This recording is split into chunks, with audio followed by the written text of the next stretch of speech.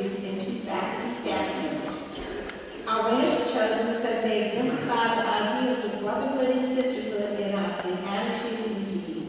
They promote the values of peace and justice in our school community. They are caring, concerned, and committed to building God's kingdom on earth. So right now, I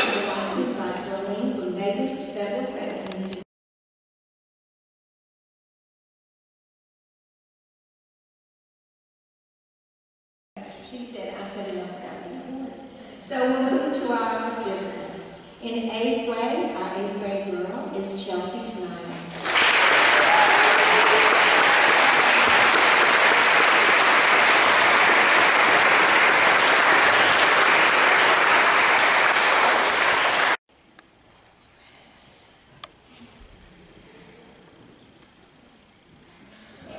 And they don't know this, so this is a surprise to them.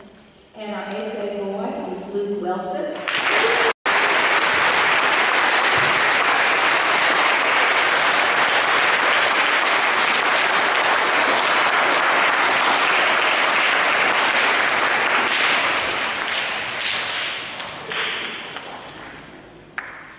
Our teacher is Pam Sosha.